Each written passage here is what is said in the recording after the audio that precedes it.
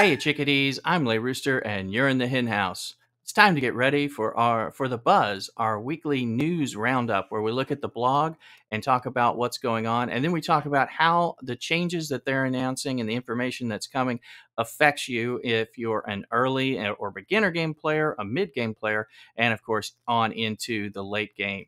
So, breaking that down, as we do, we're going to be looking at more information on Phyla-Vell, the newly released hot character, a member of the Infinity Watch. We've got changes, or we've got changes to some of the health steal mechanics in some characters. Some would say nerfs coming out. Um, we've got information on the blitzes, the legendaries that are returning, um, as well as information about the ISO 8 requirements, some new challenges, and all kinds of exciting stuff that you're want to going to be prepared for. So uh, let's get into that. But before we do, go ahead and uh, like the channel, give it a thumbs up, hit that notification bell so you're notified the next time I post a video about this information, about Marvel Strike Force and other important games that you want to be on the lookout for. Also, make sure you leave us a comment and tell us about the kinds of material that you'd like to see coming out of this channel to help you with your Marvel Strike Force or some of the other games that I support and promote on the channel. And with that, it's time for.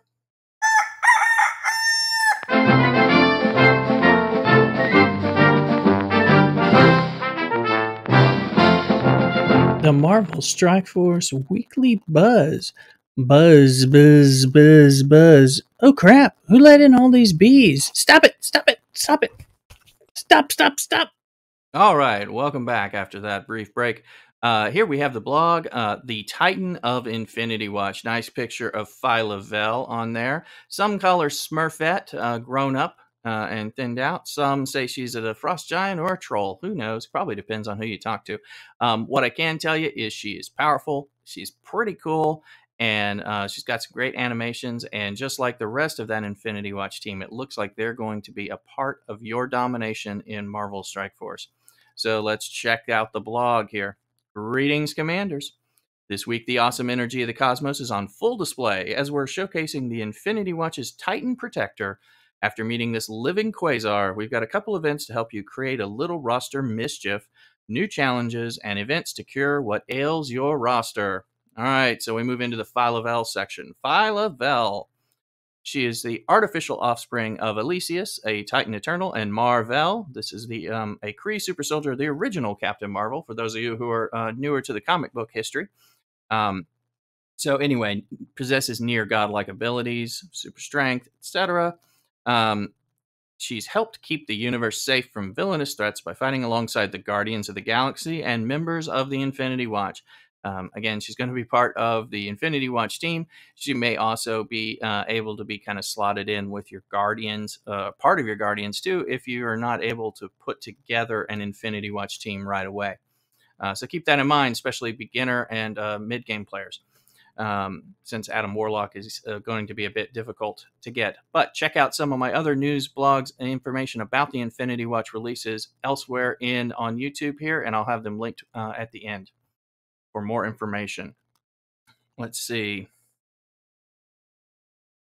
She has a very high base damage, boosts the damage of her Infinity Watch allies. She's a protector, applies barrier and defense up to her allies, offers additional sustain with drain when they have death proof. So death proof will be an important condition when paired with Moondragon, who as sort of is released now for cash right now, essentially cores. Um, uh, her basic ability can't be countered, so that's going to be pretty impressive. And when combined with her Infinity Watch team, domination ensues. All right, so her traits, let's look at her in detail. Hero, Cosmic, Bio, Protector, and member of the Infinity Watch. So she will be a hero that'll help, but she's going to be another cosmic character, and she's going to be bio this time. So cosmic and bio to help help with some of that. All right. This also means uh, just uh, as some kind of things uh, as a cosmic hero, she will be able to pair with Silver Surfer for some synergy for him since uh, uh, he's gonna, you know, he slots in a lot of places, and this is another place where, um, you know, you may be able to pair them up if you're not going for the straight Infinity Watch team. So her basic meteoric slash attack the primary target for 300% damage and apply offense down for two turns. Chain to one target within within two spaces of previous target for 300% damage plus apply offense down. Uh, chain within two spaces sounds like she's going to be able to jump a little bit, uh, which that'll be interesting and make her more effective. If Moondragon is an ally, this attack cannot be counterattacked. So it's going to, that's going to be positive. Um, again, if you have Moondragon as well, essentially, if you have the whole Infinity Watch team. The special Quantum Cutter. Here we go. Energy cost 5 of 5. Um, clear all negative effects from self and all Infinity Watch allies. So all negatives from everybody on Infinity Watch. Clear two random negative effects from all other allies. So this is the part about where she slots in with other characters and teams. So she'll at least clear two random negative effects from all other allies. And it helps a little. Not nearly as impressive as it is when she's on the Infinity Watch. She'll barrier herself and all allies, so all allies, not just Infinity Watch, so anybody, for 10% of this character's max health. If Adam Warlock is an ally, bury yourself and all Infinity Watch allies for an additional 10% of this character's max health. Better with the Infinity Watch. We kind of know that. We've seen that with the, uh, the team, but she does have some slot ability, so to speak, outside of the team. Attack primary and adjacent targets for 350 damage plus 25 piercing. So decent barrier and damage uh, dealing. Those are always nice when there's a protective uh, protective quality as well as a damage dealing quality, so you don't have to choose between them sometimes. Her ultimate marvelous finish. All right, energy cost four six. Attack primary target for 600% damage, plus 25 piercing, plus apply offense down. That's going to hit hard and uh, make them not able to hit hard back. Um, apply defense up for two turns, plus offense up for two turns to all Infinity Watch allies. Um, so makes them harder to hurt and makes them hurt harder. All right, if primary target has any positive effect, apply two death proof to all Infinity Watch allies. So if the primary target, let's look at this. This is um, if the primary target has any positive effect, apply two death proof to all Infinity Watch allies.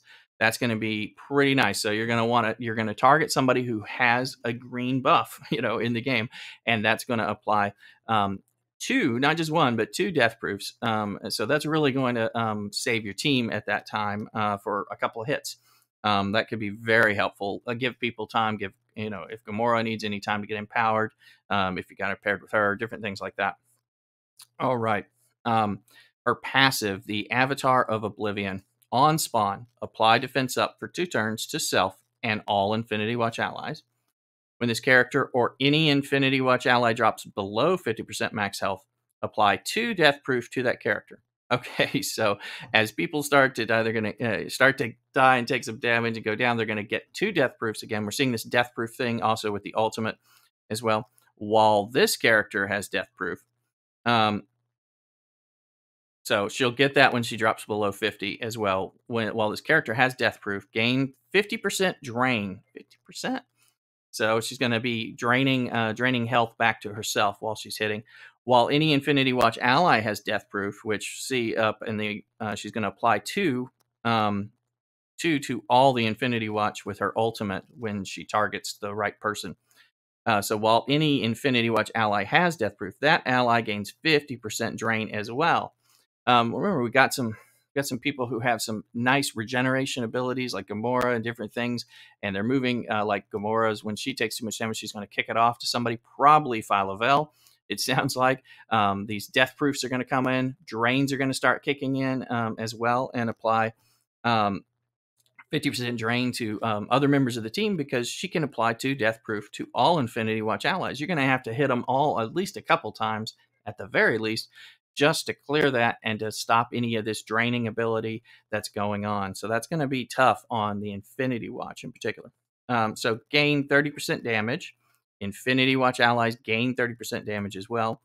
Lower enemy crit chance by 15% while this character does not have ability block. So that, okay lower. So enemies are going to have a harder time critting if she is not ability blocked.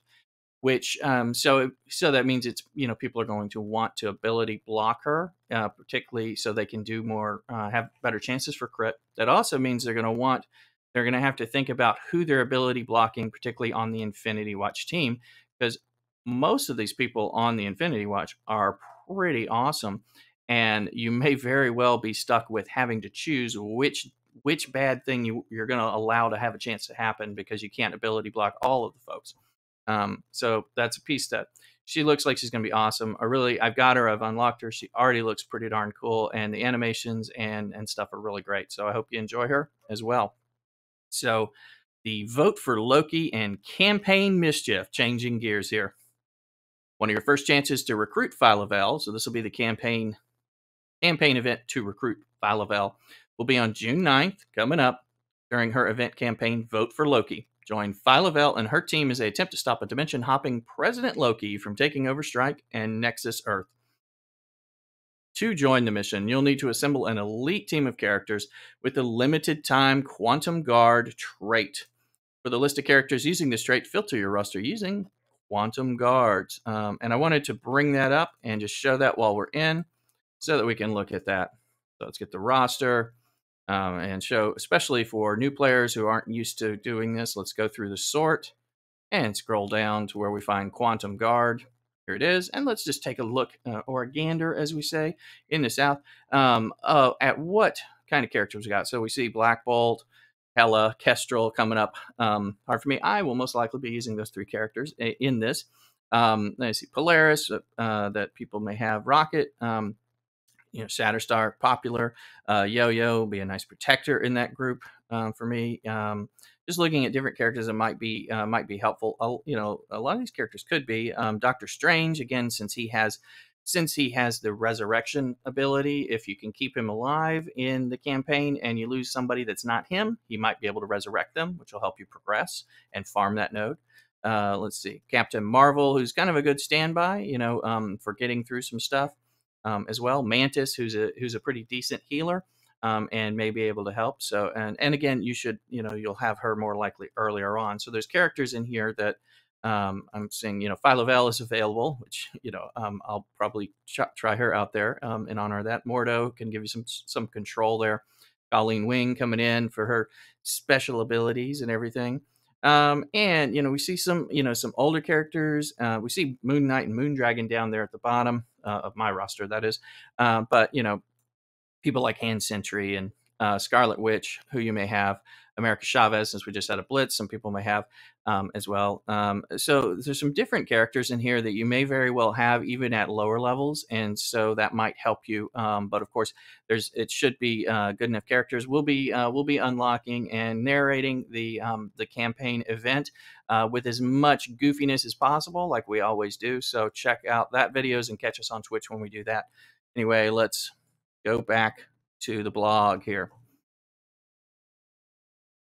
So, running parallel with Vote for Loki will be the Campaign Mischief event, which rewards your event campaign participation with a chance to acquire Loki's new President Loki costume.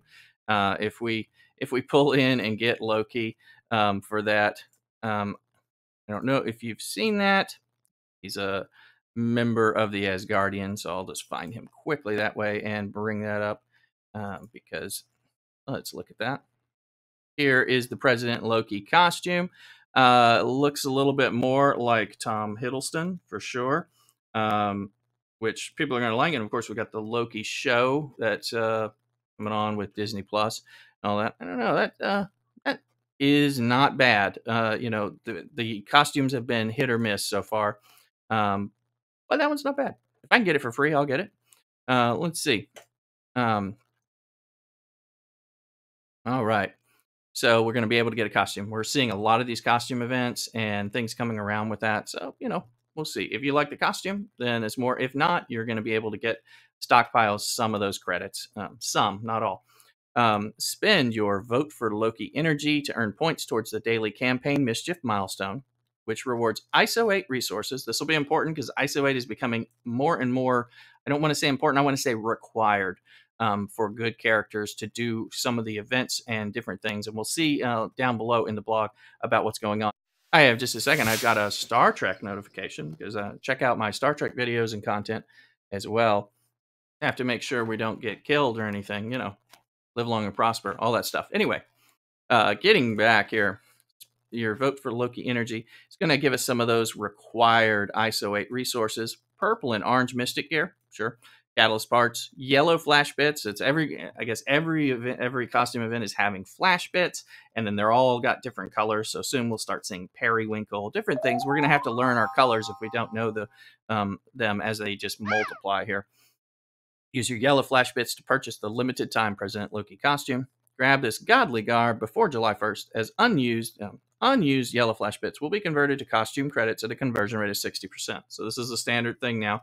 You earn the flash bits, and then if you don't spend them because you didn't like the costume or you forgot, they will convert at a you know and you'll retain 60% of them as the generic costume credits so we'll see you know as we get more costumes we'll see what how we can buy things with with those or what we can how we can use them exactly um, i think a little bit of time will start to show us you know how this is happening or what kinds of releases, uh, what the release cadence is um, on costumes. If you care about costumes, you know, uh, right now they have no effect except uh, looking, uh, you know, costume, uh, you know, fashion, etc. So um, you know, I like the I like the option in the game, um, but you know, you may not you may not like the costumes, and you definitely may not like them if they cost money. So this one's free if you can earn it. Now, tier one ISO 8 updates. Uh, so we're starting to see this. I mentioned this a second ago. To help prepare your roster for the exciting introduction of tier two ISO blues, which those are coming, and uh, that's going to be important as well because as they require us to have more ISO 8 green, the tier one um, stuff, there also we can expect that they're going to be requiring us to have some ISO 8 blue at some point for certain tasks, for certain unlocks, or different things. So we don't, you don't want to be sleeping on ISO 8s. Um, I don't think they're going to let us. Um, so we've got several updates, uh, upcoming opportunities to earn tons of ISO 8 green. Don't miss these chances to go green in the coming weeks. So the campaign Mischief, they just talked about that. Uh, reward ISO 8 resources, including T1 ion orb fragments. That's very good. Okay, because that's the um, that's the currency for um, for leveling up, fusing fusing the crystals, leveling up the different the different tiers of the ISO 8s. Um, that will be important, and you really don't want to be running out of that. And it's you've got to farm a lot to actually keep keep that number up. Basic and premium um, ISO ISO 8 orb fragments, T1 ISO 8 crystals. Players who collect all okay. Players who collect all of their free energy and refill their energy four times a day will be able to earn 60 controller ISO 8 crystals for each attribute as well as other milestone rewards. So just just so that so that's on your ISO 8 campaign node. You're gonna you know you're gonna need to spend all your energy. So when it caps out like at 120, it caps out for me. You're gonna need to make sure that you're um you're not you're you're spending it the moment you hit that cap, so that you can spend all of it. Um, the the the um whenever it does that. So always keep it below max um, will be important. And then you're going to have to refill your energy four times a day to max this out. Um, they're saying so. That's the um, that is the 50 core refreshes that you can do four times um, a day, and then it goes up um, to 100 100 cores.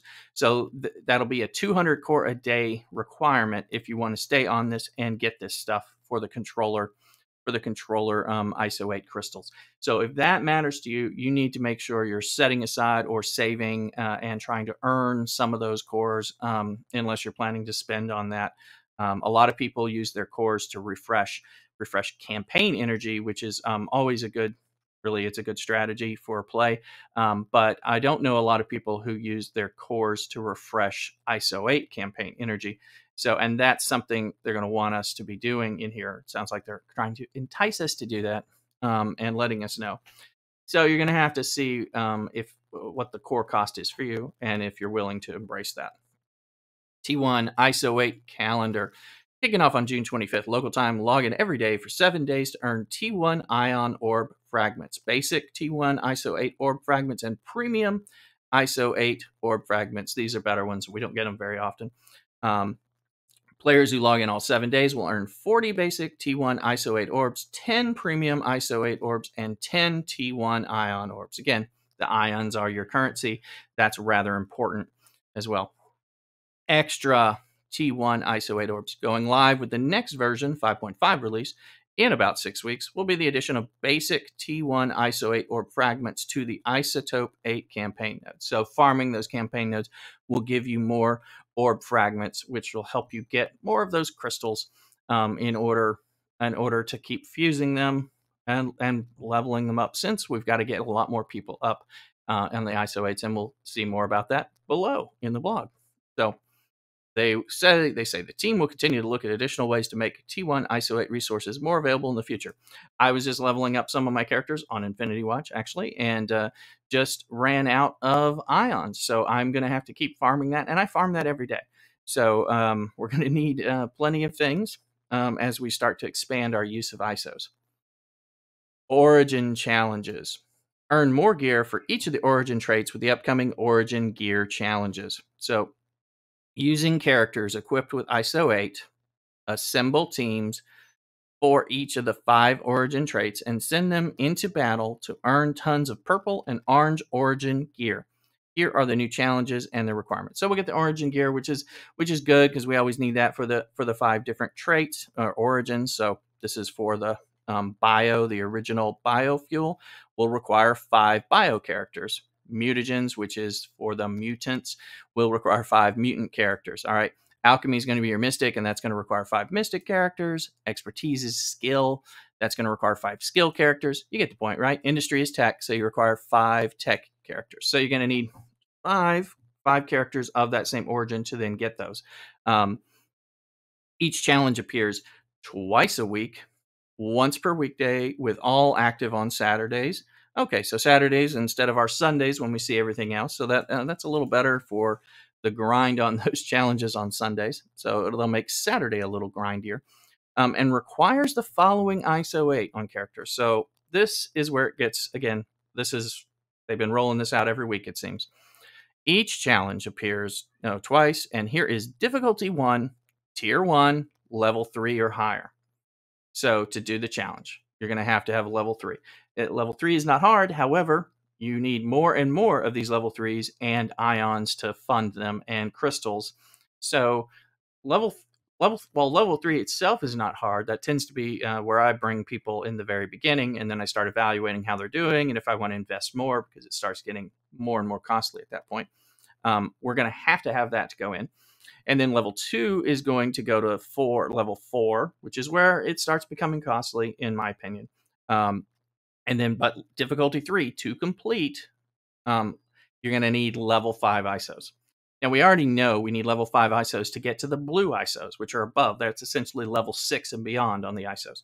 So you can't bring someone to, to blue ISO without maxing out green ISO. So think of it as level six.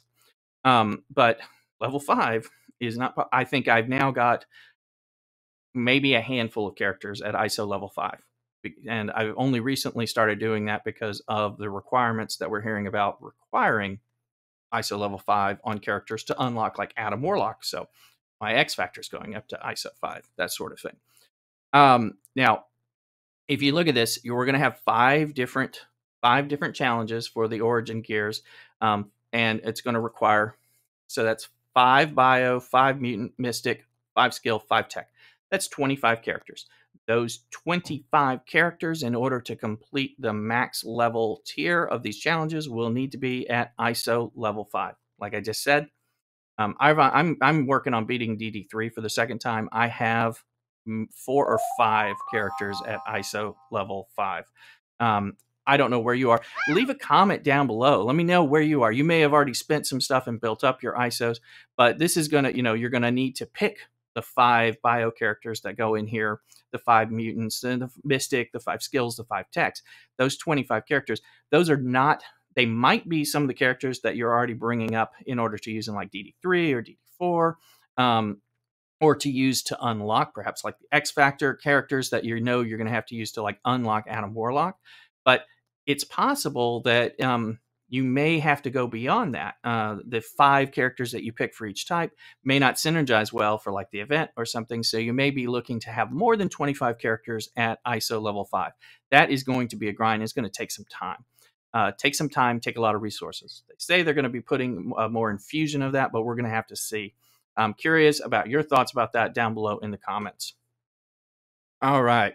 returning legendary event. Your next chance to pack the explosive ability of Jubilee into your roster.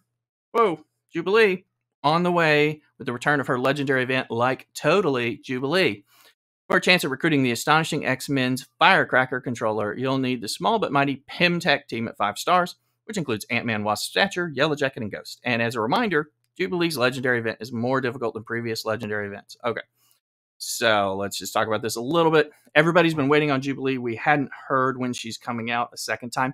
Um, you know, if you if you listen to the talk, um, people it sounds like no one has Jubilee. I know people do have Jubilee, but I know that a lot of people did miss her, and they've been waiting and waiting and waiting for the announcement and going, when is she coming? People thought she was coming in May. People thought she was coming in the beginning of June. She's now coming. Um, she's coming a little later. so um, they did say that she would come before Adam Warlock is release. So this means we're at least one more step closer to the Adam Warlock release uh, because you have to have Jubilee in in addition to those X factors and at ISO level five, as well as gear tier high on up um, in order to get the high stars on that. Uh, check out some of my previous videos about these blogs in order to get a lot of the breakdown of the details there. Um, so you need the Pym-Tech, which we talked about once this announcement for Adam Warlock came out. Pym-Tech is required for Jubilee. Jubilee is required for um, Adam Warlock, as is X Factor. Um, so Pym-Tech Ant Man is now directly connected to Adam Warlock, um, which is you know, eh, I, I, don't want to build him up that much, but you know, uh, you may you you may have a different opinion, but um, but you do have to if you want to get Jubilee. And Jubilee is worth it as um, you know, kind of the linchpin on that X-Men, astonishing X-Men team for raids. Best raid team out there right now. You definitely want to get get them if you can. You will enjoy them every day, all over the place in raids and elsewhere. Um, so uh, I highlighted this point because they said, as a reminder, Jubilee's legendary event is more difficult than previous legendary events. They announced this when Jubilee was first released. Um, I was lucky enough to unlock Jubilee in that moment um, on there. My Pym-Tech team was um, was not very built up. They've been built up some, particularly Ghost, because she's really the good character that you do want. I brought her into DD3, spent the resources, and really leveled her up, and I have no regrets about that. Um, but I didn't when I was doing the unlock, and it was a very tough battle for my team. I think uh, it really, uh, you know, I've talked about this on Twitch and with some of the folks um, on Twitch and chat and everything. As the battle went, it came down to my ghost, who was my strongest character then as well, um, was about to die, had a sliver of health, and so did the last person standing in the campaign. And it came down to who hits the next one first. My ghost did, killed the other one and so I unlocked Jubilee. So I feel like I was really at the bottom of being able to unlock Jubilee because it was down to about one one turn and who went, you know, kind of a coin flip of who goes first type of thing. So um, it was harder than usual. So I expect that I'm going to have to keep putting uh, keep putting some resources into the rest of the Pym-Tech team to make them do that. You may find that similar. So um, you you may want to make sure if you're not if you're not willing to raise them up beforehand, you may want to make sure that you have some resources on hand to raise them up if you're starting to have a wall with being successful in the unlock event. Because people have been waiting and you probably don't want to miss that. So stockpile a bit, set aside a bit of Pym-Tech allowance at the very least. So mission five is um, gear tier is level 60, gear tier 11. These are recommendations. Okay, I was like, wait a minute, did they sneak us requirements in for a second? But no, these are just the recommendations. Level 60, gear tier 11, ability 6664, 4. Okay. The, the recommendations are relatively meaningless. So it's whatever you can win with. Um, I don't think, I don't think I actually had this when I unlocked her 5, which is probably why it was so, so close. Um, but uh, these at least give you a guide. That way, if you feel like, well, you have an idea of what they're saying you might need. But the, the proof will really be in the pudding of do I win or not? Um, because if you don't, you're going to need to boost up. Um, and so let's see. Jubilee is also one of the required characters for the upcoming Adam Warlock Legendary event. So if you're looking to recruit the Infinity Watch's legendary leader, you don't want to miss out on like totally Jubilee. Um, definitely, you know, as we've seen, even when we look at Gamora and Nebula, who we definitely didn't, I know I didn't think I'd be talking about on any blog um, or anywhere except how useless they are. Um, you know, Gamora is wrecking nerds all over the place. She is wonderful to play with just by herself and is really fun right now. Uh, Nebula, I've got to build her up because I've had her in a basement locked away um, for a long, long time in shame because she was so useless. Um, so, but now she's going to have uses, and as we as I get her up and can kind of try them out, trying them out on Twitch and some of the some of the stuff, and just seeing what you know what they can do. So even those people are good, you know, are doing their own bits. Phyla-Vell is is rocking.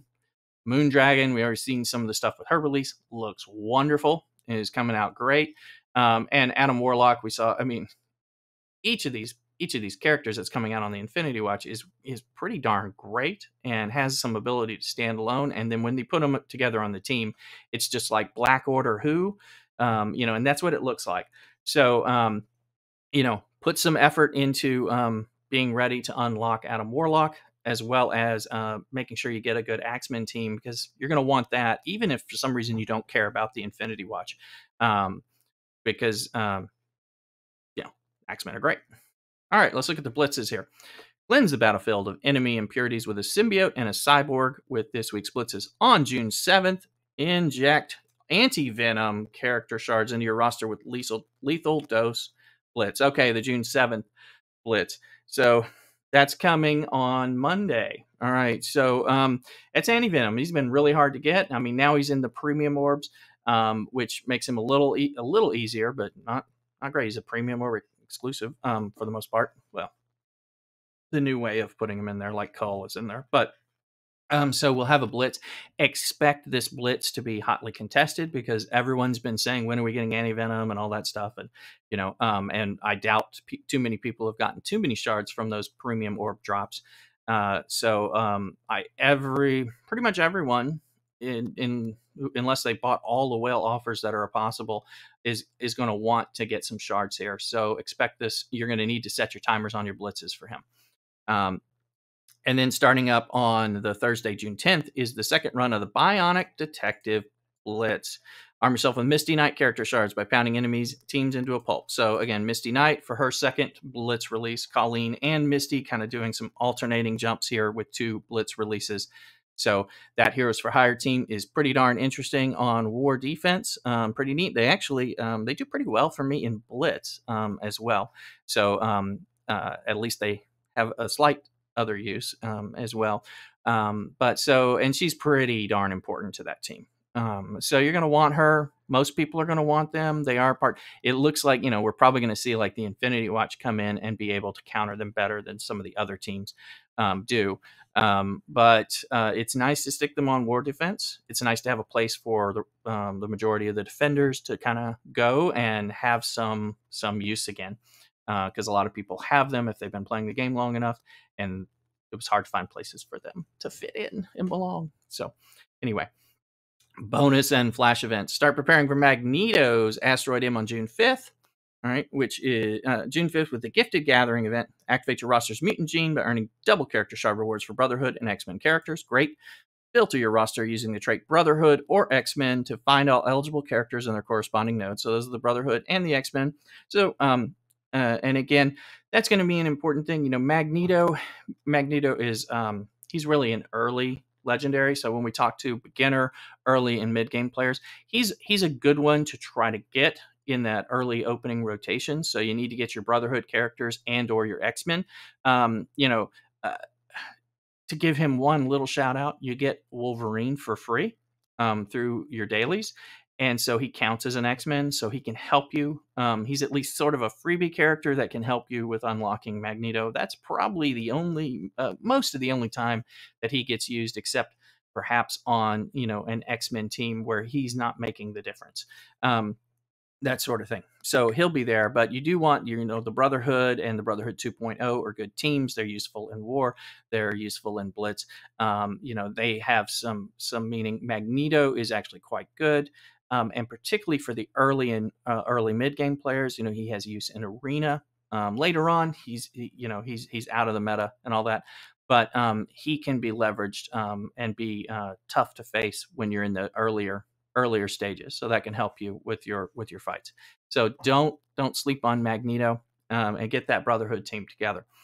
Um, Back for your monthly shot at bagging bullion is the payday event where you can send your mercenaries out on a mission to bring back gold. Support your soldiers of fortune with the Merc Mayhem event, which rewards two times shard payouts and campaign notes for mercenaries. Right, so this is one we get a lot of gold from this event. You unlock it. You have to have uh, ultimately seven star, a f- team of five, seven yellow star mercenaries. Taskmaster being, you know, the glue that really makes them extra good. Um, but it does include some people um, you know, Killmonger, we've talked about again, is on there, and he's one that slots into a few different teams for a few different events and things. So it's good to focus on him where you can, as well as like you know Deadpool as a member of the X Force, um, and then you know Merc Lieutenant, Merc Riot Guard, that sort of thing. They're um, they're they're good. Uh, the mercenary team can be used in some war defense, um, at least to to be to make people have to have to work at it or use a specific counter. Um, but anyway, so it's good when these events come in. Just like with uh, the Magneto event, you can get your Brotherhood and X Men characters more. This is a good time to spend your campaign energy to farm them. Same thing with farming the different mercenaries that where you have the nodes active so that you can get them for the ones that are on nodes. All right, so look look for that. Everybody's happy when the mercenary payday payday event comes because we get a bunch of gold and we usually are broke by the time we get to it. So changes to health steal. All right, this is kind of the nerf section although it's more of a future nerf. The health steal mechanic for existing characters has always ignored death proof on enemy characters and caused them to ignore triggered abilities when dropping below a certain health threshold. Um, okay, we just saw in Phyla-Vell up above that you know, um, there's a triggering event when she she drops below 50% and it fires off its death proofs and things like that. So death proofs and dropping below 50% is something that's going in with Phyla-Vell and Infinity Watch. And look, they are having some changes to that kind of mechanics. So this will continue to be true for the current characters with Health Steal, meaning it's changing and they're not rolling it back on the existing characters those characters, um, which they talk about, you know, have been really important, like Minerva, who is who you hear about and you should be working on because of all the greatness uh, related to this. So, however, considering how powerful Health Steal is, future characters with the mechanic will not have the ability to ignore death proof or triggered health threshold abilities. Here are the details. Meaning, we've realized that we don't want to keep releasing characters with this. We're going to change it so that um, those characters are their stock is going to continue to be pretty good. And these other characters with some kind of health steal, it's going to be different. Um, all right. So, future characters, changing the health steal mechanic for future characters so it doesn't ignore death proof on enemy characters and will trigger health threshold passive abilities. All right. So, going forward, that's what's going to happen with that steal. Current characters updated the health steal ability text for current characters with the following new text this attack ignores death proof and passives that trigger when a character drops below a certain health. So they're going to say we're going to like put it in there so that you're not yelling at us about the other ones. It's we are changing it for the future. The characters that have received the updated ability text, which means the characters that have what's going to be the good old legacy health steal, are Minerva, Dark Phoenix's ability, Ebony Maw's ability, Yellow Jacket, and Ghost. Um, so for the barring Yellow Jacket, who is still a decent character, uh, everyone else is really you know um, top tier and useful in higher end stuff, late game stuff because of these damaging drain, uh, health steal abilities and all that. So. Um, there's a list of characters that are going to be helpful for some things as you as you go forward, um, and what whatever we see in the future is going to be less. Um, the two main reasons for these actions the way that health steal currently works doesn't fit with where the team wants to utilize the mechanic in the future, or how we want it to interact with other future characters that grant death proof or have triggered health threshold abilities. Meaning, we got lots of plans. These characters are a problem.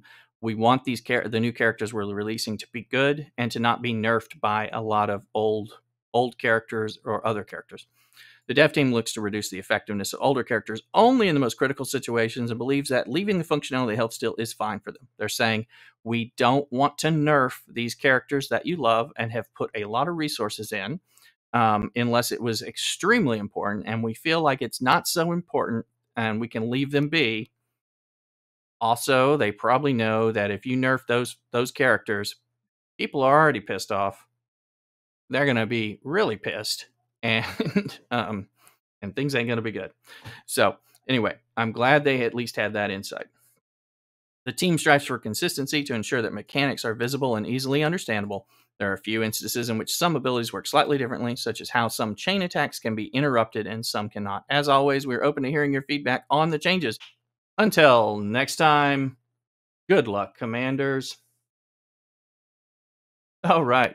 So that's our blog review for this week. Uh, I post these every week um, as we kind of dissect the blog and try to look at what uh, what impact this is going to have on the new and early game players as well as mid game players. Um, you know, uh, so that you can figure some of that stuff out. Some things don't seem to apply always, and or what you need to do when you're eh, earlier on in the game is a little bit different anyway, we're looking at those. If you have questions, please drop them below in the comments. Please let me know about things you want to hear about, content you're looking for related to Marvel Strike Force and other games.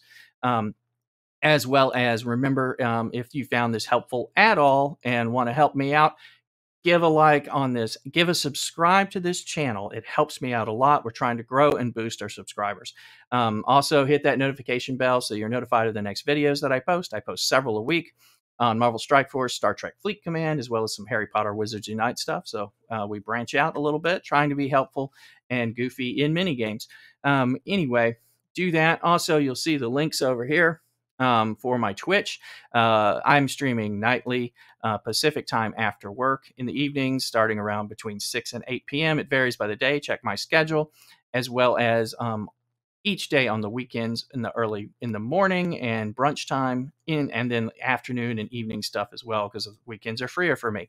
So um, we have a lot of fun out there hanging out. Please come in bring your questions and if you're coming over to twitch and catching me from uh, youtube please let me know that you're coming from youtube because i want to give you a special shout out and a special welcome as you do that.